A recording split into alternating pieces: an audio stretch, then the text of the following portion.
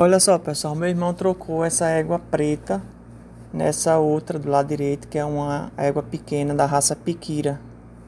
Aí trocou uma na outra. Quero ver que quero que vocês aí deixem a, opinião de vocês, se a troca foi justa, se valeu a pena.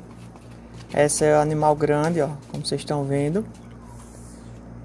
E tem aí as suas qualidades, né? Mas aí ele trocou uma na outra com a piquira pequenininha, que eu vou estar tá mostrando aqui agora no vídeo. É baixeira, bem baixeira. Esse andado macio. E aí, pessoal, o que é que vocês acharam? Esse vídeo curtinho aí é só para pegar a opinião de vocês e para mostrar que essas trocas que são feitas aqui no interior, na, na cidade de Palmeira dos Índios.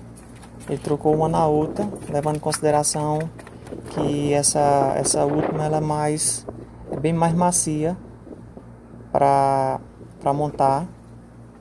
E aí, o que é que vocês acharam, pessoal? Valeu, deixa aí as opiniões. Grande abraço, viu?